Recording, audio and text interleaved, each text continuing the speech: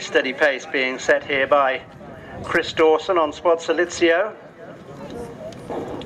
One day at a time and Lark Hall second and third and then Kittredge Lane another four lengths away in fourth place and then Natrang, last chorus, Purple One, A Passion for Fashion and Ellerslie Posh.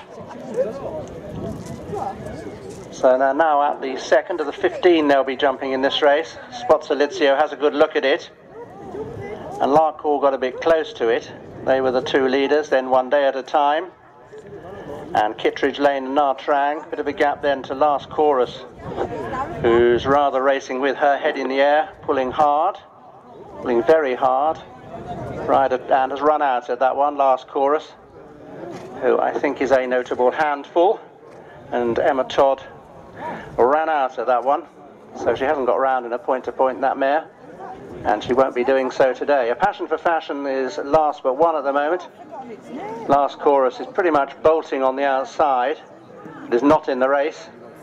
And Ellerslie Posh Stephen Wiles, who usually seems to just run his point to pointers in May or June, is bringing up the rear.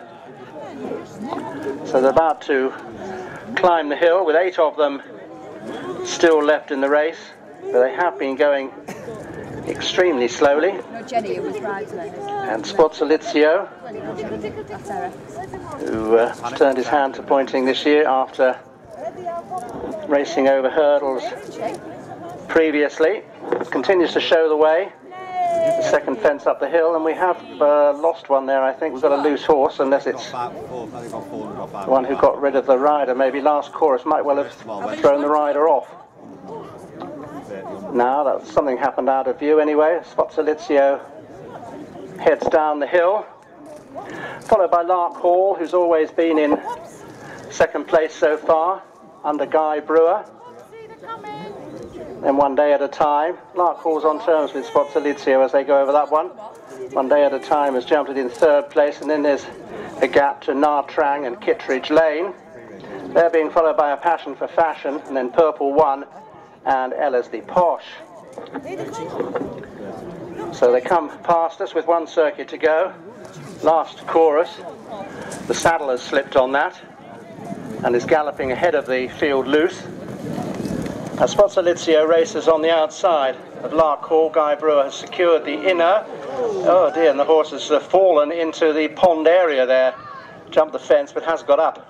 Okay, and uh, the huntsmen are going to try and catch last chorus, who at the moment is hemmed in into that uh, paddock area there. Larkhall pressing Sposalizio for the lead again, but one day at a time is right behind them under Will Milburn. A passion for fashion, Jacqueline Coward, only another four lengths away, has been taken very steadily. Then Natrang, Kittredge Lane is next, and then comes Ellerslie Posh, and it looks as if Purple One will probably pull up before much longer is tailed off. So at the open ditch and three, covered by a length or so as they went over it, Larkhall spots Salizio and one day at a time. A passion for fashion creeping closer. Natrang is still in touch. Kittredge Lane is about 12 lengths behind the leader.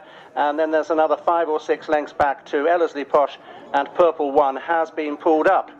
So there are seven that's still going, and Lark Hall, one of the three Mary Sowersby runners, is just about in front of Sposalizio, but one day at a time is right behind, within a length and a half of the leader, and A Passion for Fashion has another five lengths to make as they turn up the hill in this Oaklands Veterinary Centre.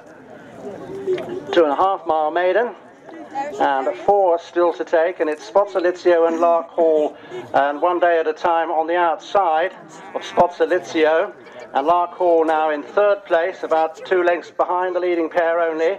And that, that one made a bad mistake, Lark Hall. Really belted it hard. A Passion for Fashion hasn't closed. Then Trang, And uh, still going is Kittredge Lane. Ellerslie Posh has jumped that one, but looks like pulling up.